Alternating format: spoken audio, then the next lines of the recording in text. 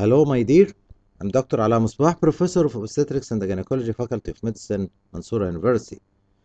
Today we are going to discuss some obstetric clinical questions and do some comments on them. Okay, let us start with the first question. Identify this maneuver and its indication. Look to this picture, please. In this picture, this maneuver is McRobert position. McRobert position is done by extreme flexion of the side toward the woman abdomen in cases with shoulder dystocia.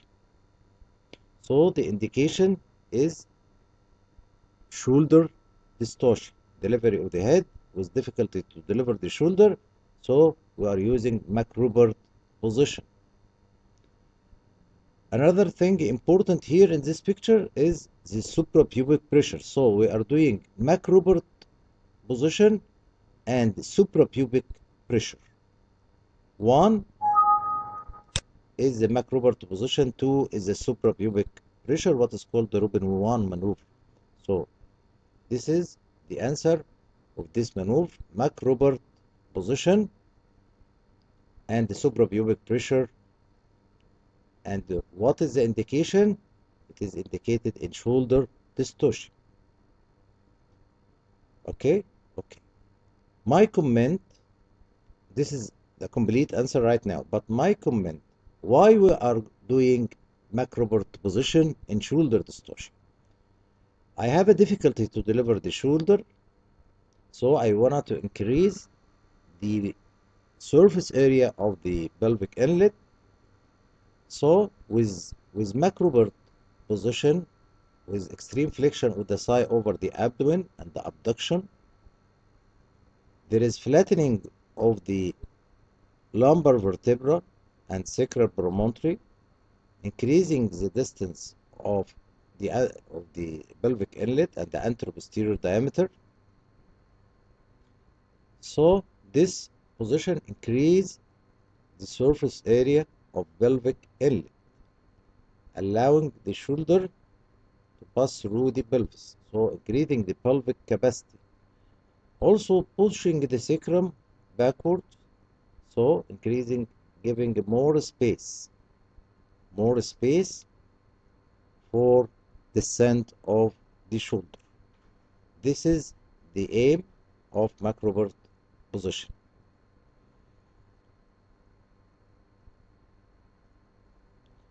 Another question, do comment on presentation, position, and engagement in this picture.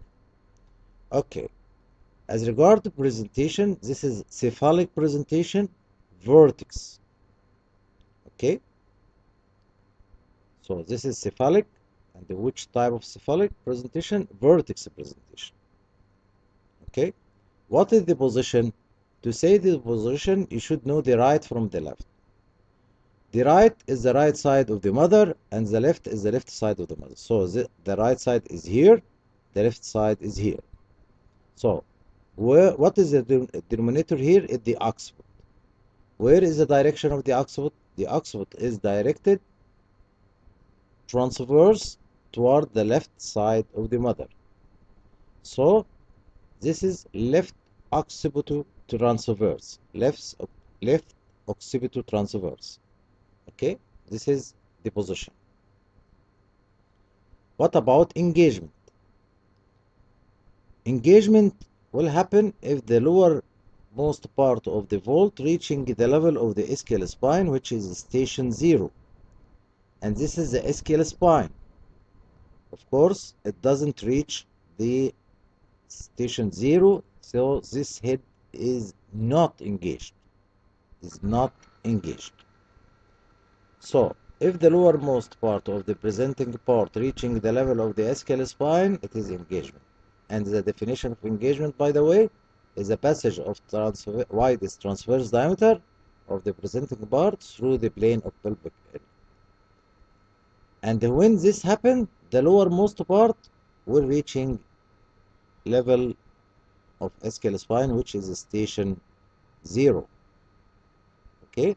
So the answer of this question will be cephalic vertex presentation, left occipital transverse, and the head is not engaged.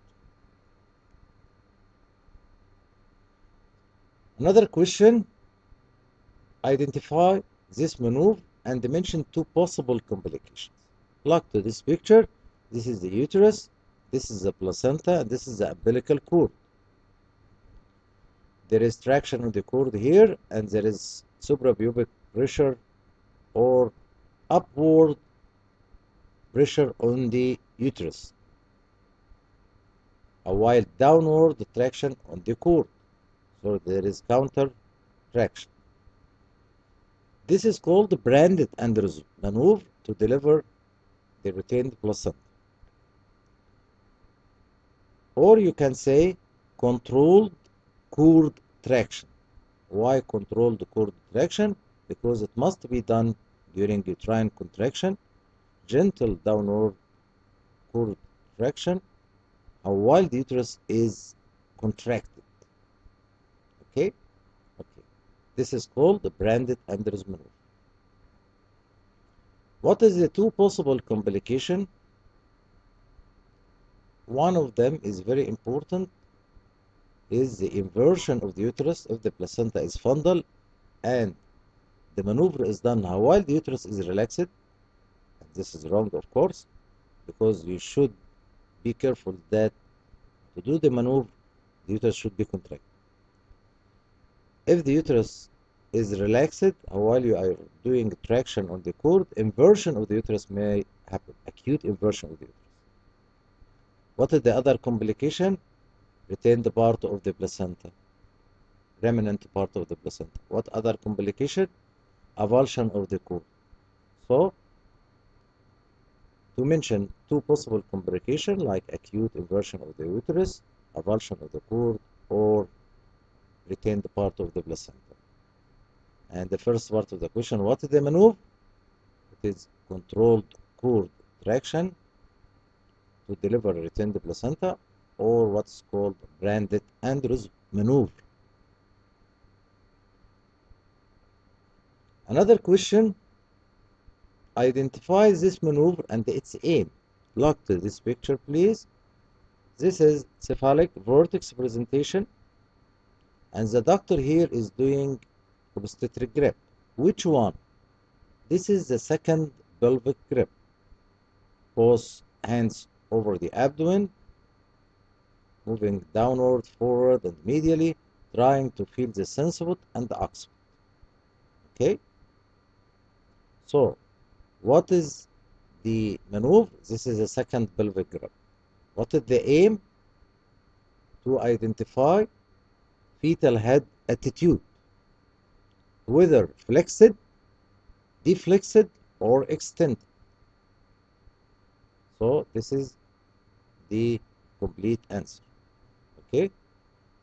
The aim of this maneuver to detect the fetal head or identify the fetal head attitude.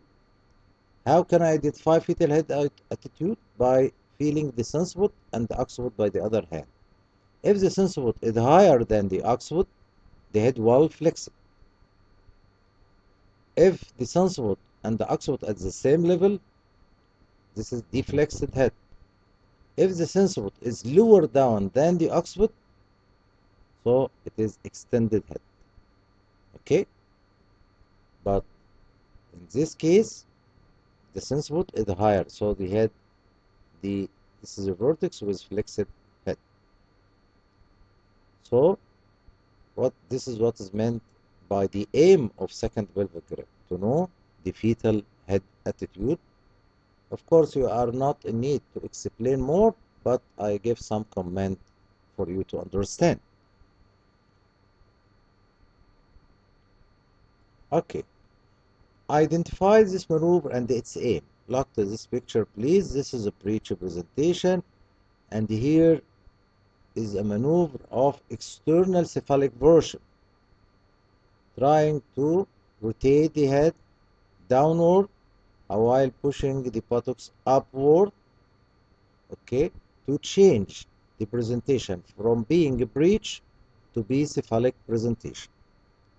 This is the aim. So the maneuver is external cephalic version and the aim is to change the presentation from being a breech to be cephalic to give a chance for the patient for vaginal delivery and to minimize the need for cesarean section. Okay?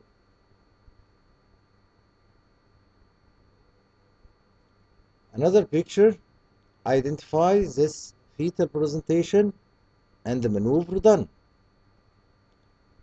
Here fetal presentation is frank breech presentation and be accurate. Don't say just breech presentation but look if it is complete breech, if it is frank breech, and so on. This is frank breech because the legs are extended. So this is frank breech presentation. And what the maneuver done during labor here in this picture is groin traction. Bilateral groin traction to help the descent of the buttocks and the legs. Okay? This is the last question. Thank you. I'm dr Alaa Mosbah professor of obstetrics and gynecology faculty of medicine Mansoura University